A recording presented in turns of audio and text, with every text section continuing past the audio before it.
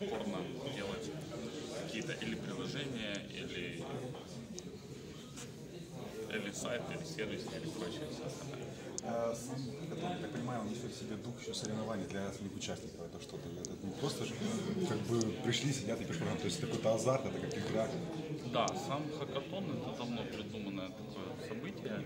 За кратчайший срок создать что-либо, либо к существующему своему приложению или сайту, э, либо же создать что-то новое. То есть, начиная от идеи, просто озвучить, что хочу создать за эти двое суток прототип какой-то, либо же э, есть что-либо, к нему хочу добавочку какую-то сделать.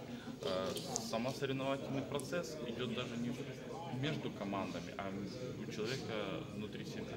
То есть человек делает себе вызов за кратчайший срок, собраться в кулак и создать из идеи какой-то рабочий прототип. Спасибо. Дякую. Спасибо.